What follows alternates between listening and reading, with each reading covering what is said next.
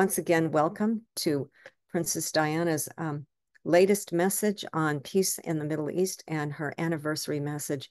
Uh, this is um, August or August 31st, uh, 2024, and it will have been 27 years since her tragic passing. And we can all remember what we were doing that day and how emotional it was for everyone. So just know that Diana is fine in the afterlife and she sends her divine uh, essence of her rose of healing and love to everyone on this call and everyone in the world, for she is indeed a, a master working with Master Mother Mary and Master Mary Magdalene and Jesus for the betterment of mankind. And she has some very special details of her life and afterlife that she will reveal only here so you're in for an, an interesting ride today as I bring forth Princess Diana. And thank you for being here. And Diana says, Good evening, darling. It is once again remarkable to experience your channeling with me over the years. I am impressed with your dedication to my efforts for peace and your fervent desire to educate people about my contributions to the world on behalf of peace since I've crossed over, um, I've increased the love vibration for each one of you and for the world. For the world has increased in darkness, and I oversee a great deal on this side, um, both on the earth plane and the children's orphanage that we call the Diaper Ranch. And I have been aware of the suffering in these wars, and I am still doing something about it for I will never rest until all the wars have stopped and the children are provided for. And I have channeled through diplomatic solutions for peace through Marcia's words to important people of influence in various administrations. And I would uh, would appreciate um, your passing the word around a little bit. I send on my rose of healing this evening or this afternoon, for my crown is indeed shining brightly from the heavens. Out, and I send out personal blessings of thanks to each one of you that is attending this memorial service in my name, Diana. For when I experienced the tragedy of the accident, I did indeed rise uh, up through the ascension quite quickly, as Rose Campbell has documented so keenly in her book, The Princess and the Peon by Rose Campbell. She was another lady I worked with for a while. And uh, welcome all of those that came in, and please make sure that you're muted. Um, I'd like as well to highlight your fine work for peace today and mention your books with love from Diana, Queen of Hearts, and um, the earlier book, Princess Diana's Message of Peace. You were hardworking through the projects as I sent you my words on to very important diplomats and presidents who took them seriously, and even senators who invited you to speak to the Congress.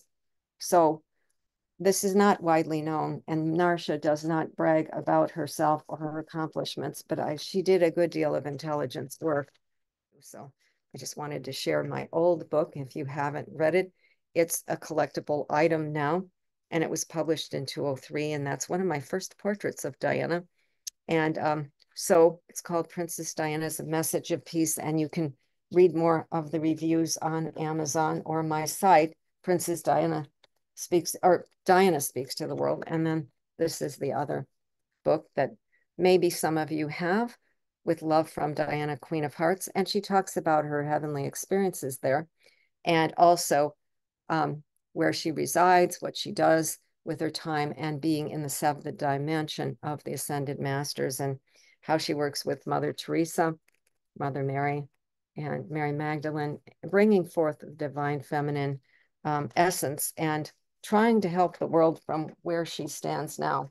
So this is all about diplomatic help. And I admit that they aren't as riveting as maybe the Mary Magdalene books, but they are quite important for what can be more important than world peace right now as we as stand on this precipice of, you know, just a holding pattern in the Middle East. And we need to hold that prayer out for peace. So back to Diana then.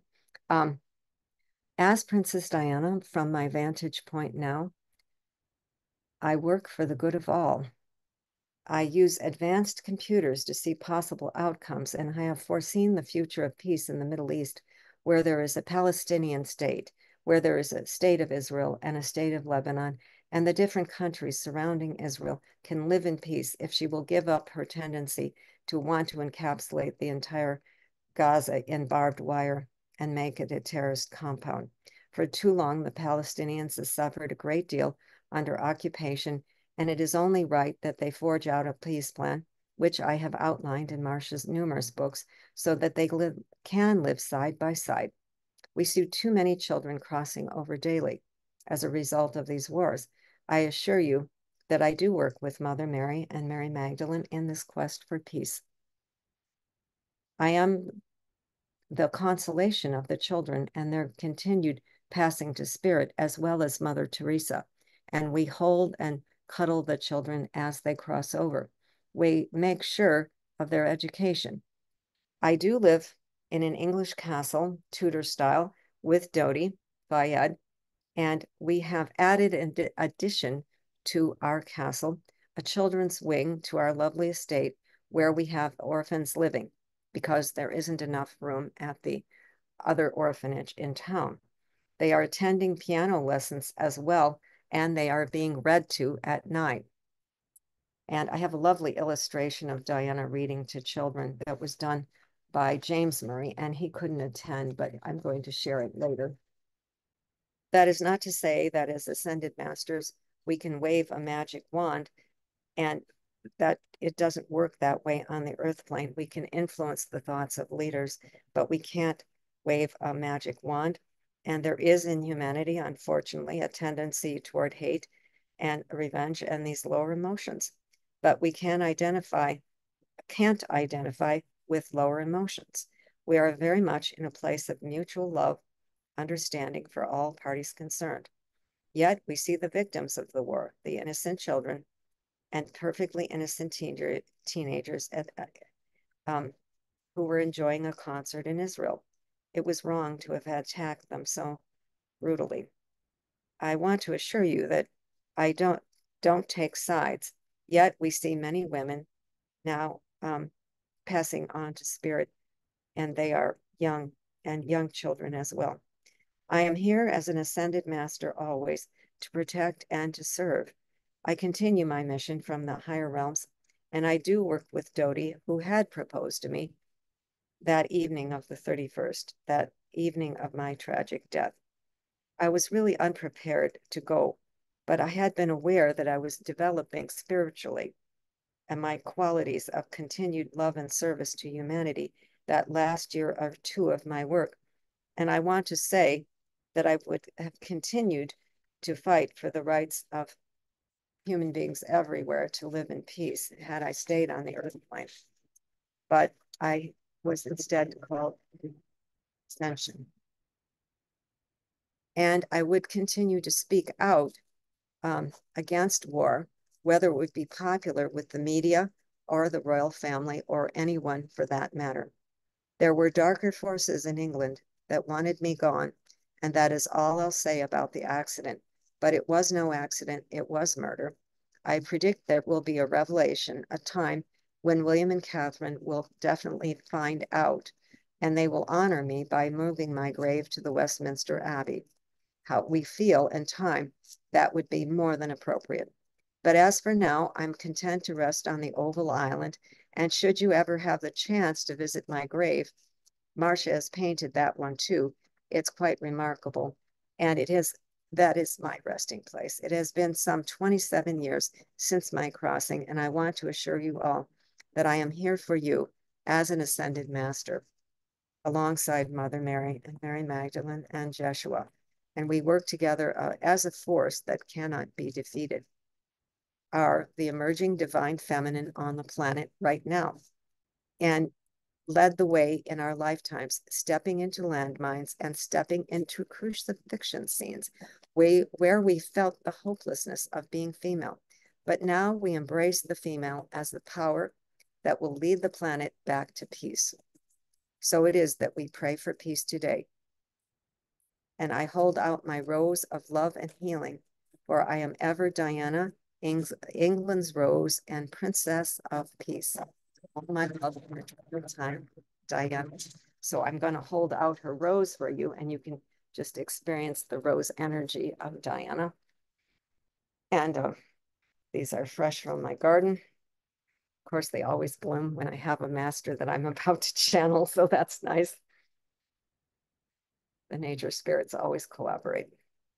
So just feel that loving rose energy of Diana and Mother Mary and Mary Magdalene envelop you in safety, in love, in the kindness of the feminine, and in the prayers for your own personal healings and your own personal development and whatever you're struggling with or designing in your mind today for the greater good. Just know that these ascended masters are powerful and they can work with you for your next step, whatever that may be whether it be healing or a book or some sort of revelation. It's all there for you, but you have only to call and they'll come. She's I said um, in her speech when she gave her uh, leaving public duty speech in 1990, she said, um, I, I, want to be Diana, queen of people, people's hearts. Um, just call on me and I'll come in an instant. And when she said that, she was predicting her role as an master in the afterlife. Unfortunately, she knew even then she predicted it. So she was quite a powerful woman, and I feel her energy now. So if you feel her energy, just raise your hand. Let me know if you're feeling it. I'm feeling it. I asked her to come clear through for me. Sometimes I do spontaneous channelings of Diana, but um, we'll just stay in that beautiful energy. It's very silken. It feels like one of her silk gowns when you contact Diana. And um, she's saying in general that she would like to work with some of you in this group today on something about a collaboration or joint message or something. So if that feels like she's tapping you on your shoulder, just let me know later. So just absorb that rose energy for your healing and for all intentions, for all your family members and uh, yourself, any healing that you personally need. And then staying in that rose energy, we're going to move on to Mother Mary's uh, message for peace for the world. And um, this is um, less detailed and more general as Mother Mary and Mary Magdalene step in, recalling in the rose energy of Divine Mother Mary. Divine Mary Magdalene into the circle of light. My dear friends, I do greet you with love and with peace. This is your mother, Mother Mary. And where she's saying, we do see that there will be in coming days upheavals of all kinds. And want, we want you to remain very strong and very connected to one another and your soul groups, such as this group here. Um, there are important reasons why Marcia is leading this group, and there will be much more up leveling and core values and core belief systems will become channel, channeling, not channel, but challenged. And so it is that with the outer chaos of various things coming up to be cleansed uh, in America and in other places in the world, it will be distressing. And I am here always as your divine mother to help you through any um, challenging experience or something that challenges your personal core belief. I am seeing an image of you, Mary, standing above the fray with Mary Magdalene, arms outstretched, enveloping the Middle East and Russia and Ukraine in the peace. And that is your intention. Is your Sacred Heart and Mary Magdalene's Sacred Heart there? Yes, it, you're saying things correctly. We hold all of these areas in a loving embrace of the sisterhood and the brotherhood around the world because there is a higher dimension of light working with all the troubled areas of the world. And yes, my son Jesus, of course. So we send out the rose of peace all over the Middle East and imagine a large vibrating circle counterclockwise. You might call it the Merkaba. You might just call it a labyrinth, but we have this divine feminine circle encircling the Middle East and holding it in peace. Let no nation touch that button and let no nation start a war. For we all know that ships and planes and bombs are poised at the command of any of the world leaders. And we ask that you send light to all of the countries and all of the people who don't want war upon their heads. Rose of peace, let me send it to your hearts first, for you cannot give what you do not have. So let Mary Magdalene and Mother Mary send their rose to your heart for your healing, for your request. Whatever it is, say it to yourself, what it, what it is that you want to heal from. Maybe there are uh, multiple things that you need healing from. Whatever it is, whatever the need. And take a deep breath and then imagine that labyrinth of love encircling the Middle East and all people kind of walking a greater degree the divine feminine heart path of love, of divine love, igniting and in various religions and various cultures, so that the all the cultures can further understand one another and less separation, hatred, and war. Um, so every person that is suffering in that area or suffering in this circle is in need of our prayers today. We we know Mother Mary says that this world will transform into one truly which is on the horizon of the new earth, but much help is still needed for the transformation to take place. And there will be much more need for like minded individuals to band together in groups uh, to forge peace and love and unity consciousness. And there will be fewer and fewer wars in the future, burdensome wars to humanity.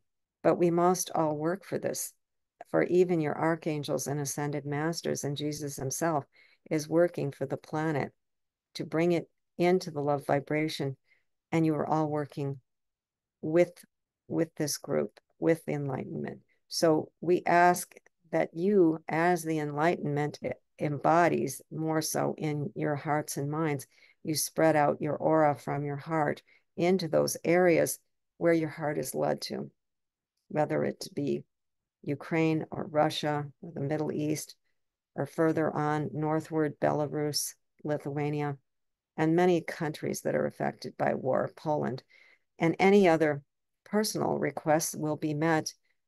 And my rose of love is being sent out to all your listeners right now for edification and for love, universal, divine, motherly love. For I and Mary stand for the rose, and we stand up for you, and we stand for enlightenment, and we stand for the end of war. And so, if you have any comments or questions, you may pose those now. And then we will proceed to prayer and Reiki requests. Just enjoy the rose energy and um, relax in peace. Thank all of you listeners that were listening online on YouTube. And please remember to like, subscribe, and share the station. And uh, we're going